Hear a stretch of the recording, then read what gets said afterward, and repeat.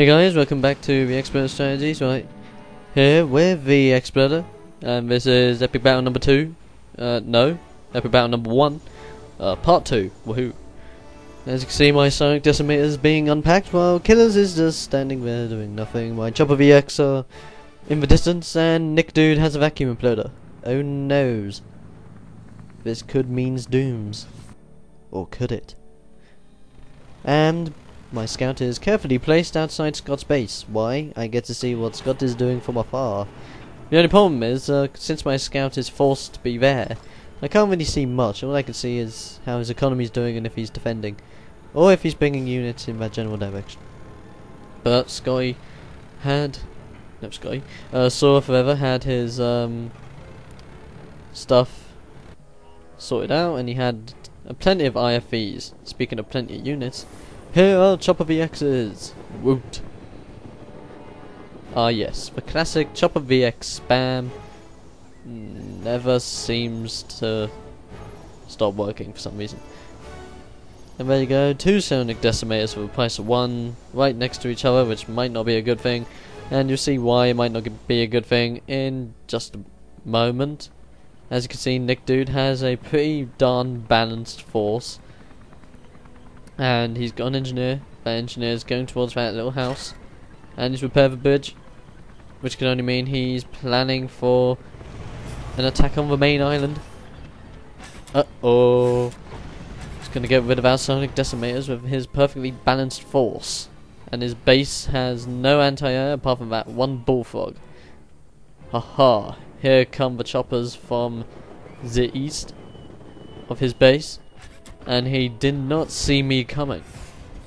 He was probably thinking to himself, okay, okay, gotta get my units across the bridge, gotta destroy that those uh, Psionic Decimators as fast as possible. I don't want to be in the receiving end. Fair enough. But then he sees me and I'm like, wait, I'm under attack. Where from? Uh, uh no. Yes. With this, um, this obviously meant that I had advanced rocket pods. Uh, advanced rocket pods really do help in this situation. Especially for choppers. Because uh, they're doing an extremely good amount of damage. And speaking of um, being worried, Kirovs are now going towards the Psionic Decimator, Psionic Decimators, which might not be a good thing. Uh oh. But look, my choppers go to attack his super reactor, or one of them, to try and take out his power supply. It takes it out, but it also takes out most of my air force. Boo. But the good thing is, as the Air Force crashes, some of them crash near the nearby buildings, which means they actually do good damage near those uh, crashed buildings. Whatever. You, you know what I mean. By the looks of things, Nick Dude has reached Killer's Psionic Decimator and is attacking. And Killer's coming in with choppers to save the day. Bang. I see that um, we're gonna need more choppers to help out, so I transformed some of mine and moved base to help out as well. Well, meanwhile, at Nick Dude's base, my units are going crazy. Now trying to take down his second uh, super reactor. And while that's happening, um, Nick Dude's units are getting taken down pretty darn fast now.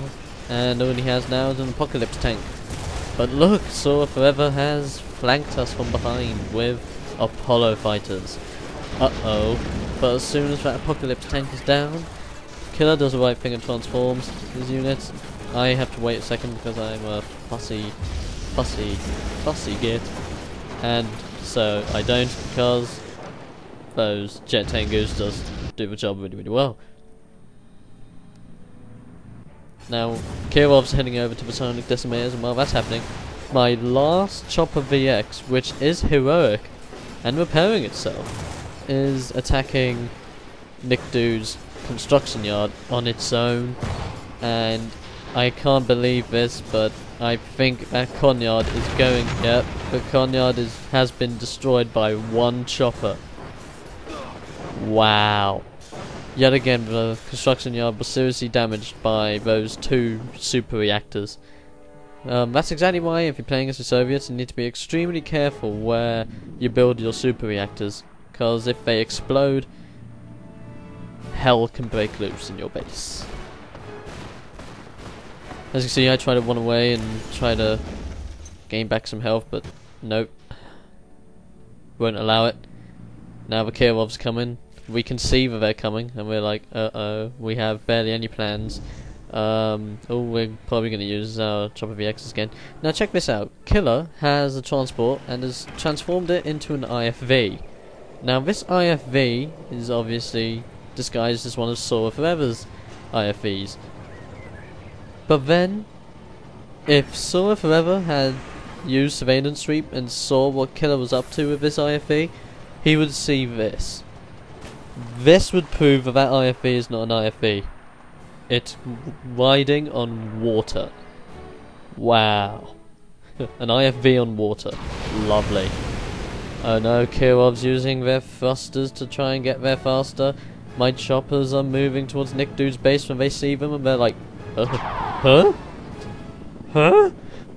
And so immediately I'm like, turn around.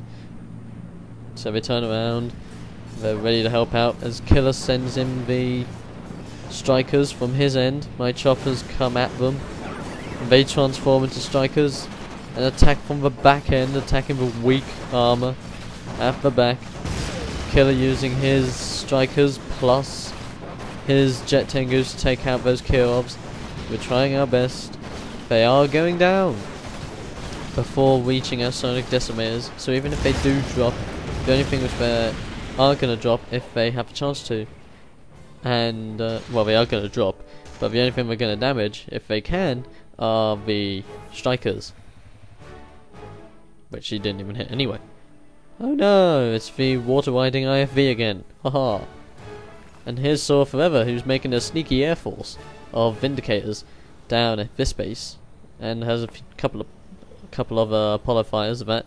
My scout is still up there, and uh, can still see what's going on. By this time, I could see that he had IFVs, and I was like, oh, lovely. And now my chopper VXs are destroying the bridge once more. And now the bridge is destroyed. It's move. But oh no! Nick Dude has a secret bullfrog underneath the bridge. What am I gonna do? Pwn it. Proven. Right. Let's continue on to the base, shall we? Where all he has is one bullfrog, no power, no construction yards, and no chance.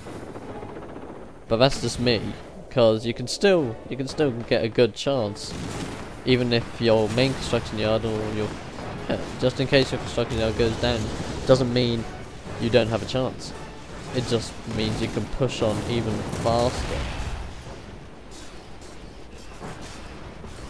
as you can see those choppers are coming straight in Got rid of that bullfrog first now we're dealing with that war factory and Vindicator's got shot down by Killer there and I'm like, wait, did I just see a little explosion in the air? Uh, I didn't think so.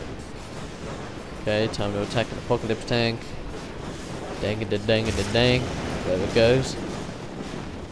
Moving on to a refinery now.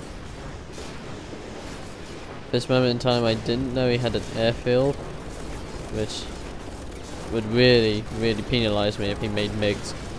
And oh no, I'm being attacked from behind by Apollo fighters. And I'm like, quickly, quickly, quickly, destroy that so I can move out. And I transform, forcing him to leg it. Haha, sneaky. But, oh no, Killer's done an engineer rush. Uh, Killer with his mad engineer rush has captured two of Sora's airfields plus one of Sora's power plants at that. But he Sora has sold um, all his buildings apart from his refinery to get some extra peacekeepers and deal with those engineers. Damn. Now my next target is going to be that airfield. Why? Because airfields can make MiGs, and MiGs is evils to my Chopper VXs. But looks like we're going to be concluded in part 3, huh?